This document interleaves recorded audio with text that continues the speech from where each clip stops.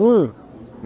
Agora vem cá, hein? Cafona aquela festinha do burrão, hein? Brega, brega, aquele monte de cover. Eu só fui porque ele implorou muito. né? Eu também. Aí você chega lá, tinha cover do Zeca Pagodinho, cover da Ivete Sangalo. é? Ronaldinho Fenômeno. E o cover do Mick Jagger. Um burrão chegou pra mim, ficou insistindo pra eu entregar o meu currículo pro cover do Elon Musk, dono da Tesla. Tá brincando? Não tô. Eu, eu falei, ô, ô burrão, primeiro você termina a quinta série, depois você fala comigo. Cara, isso é típico de quem não tem formação e quer impressionar. E o cover do Strogonoff? Ah, a bebida também era cover, né?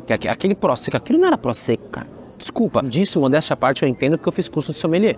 Claro, né? A pena que a gente não tem cover, hein? E aí, galera? Fala, burrão. Pô, Flavinho, eu queria te pedir desculpas, cara. Eu vi que você me mandou um monte de mensagem implorando pra ir na festa, pra melhorar aí a sua relação profissional.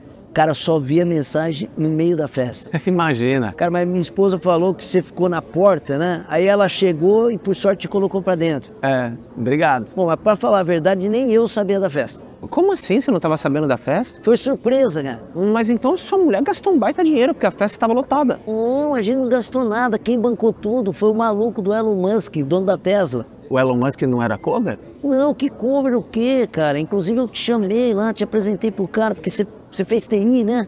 Mas aí você ficou bravo, foi embora, não sei. Mas vocês se conhecem? Não, eu conheci ele numa conferência internacional climática, aí teve um dia de folga, tava com o tradutor, eu falei, pô, vou ensinar o cara a jogar truco. Ele perdeu de mim a noite inteira. O Elon Musk? Aí o cara acordou, ele jurou que tinha uma dívida de gratidão comigo. Aí ele deu essa festa surpresa que serviu para angariar fundos para entidades carentes também, né? Agora, o burrão, mas e o Mick Jagger, Ronaldinho? Mick Jagger que indicou o chefe de cozinha francês, cara, que o cara fez questão de trazer tudo da França para fazer o autêntico estrogonofe. É, mas o Prosecco já é... Que prosecco, cara. Era champanhe francesa. Ai, que vergonha. Eu dando champanhe francesa. Bom, você deve saber, né? Você fez curso de sommelier. Não, não, claro. Eu, eu- eu- na hora que eu provei, eu- isso aqui não é Prosecco, não. E, e modéstia à parte, eu, eu, eu gosto bastante de uma champanhe, né? Eu só sei que eu e o Zeca Pagodinho ficamos na cerveja, no espetinho a festa inteira. Pô, aí no final foi muito legal, cara. A gente fez uma roda de samba, chegou a Sandra de Sal, Péricles.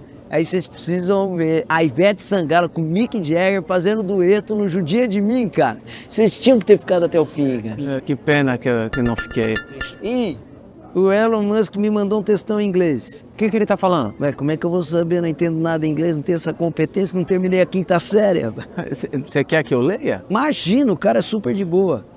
O maluco é o seguinte, você tá no Brasil, você fala em português. É. Aí, traduziu. Mandou o símbolo do baralhinho, quer perder no truco de novo. Você joga truco? Eu jogo poker.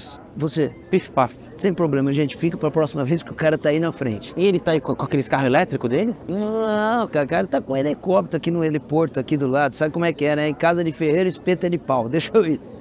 Bom, tchau, Fernando. Fernando não. Burrão, rapaz. Burrão. Esses caras, eu vou falar uma coisa.